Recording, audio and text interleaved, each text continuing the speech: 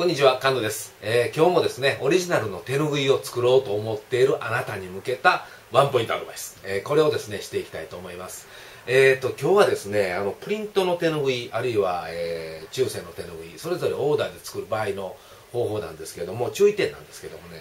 えこれがね、えー実を言うとプリントの手ぬぐいですね。結構細い線まで綺麗に出るんですね。まあ、これがプリントの特徴になります。え今度は、え本染めですね。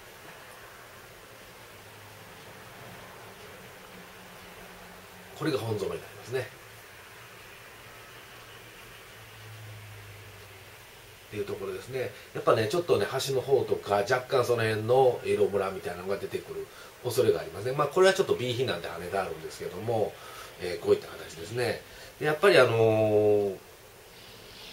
この辺のあのオーダーメイドで作る方法なんですけどもやっぱりね一番やっぱりいいのはあの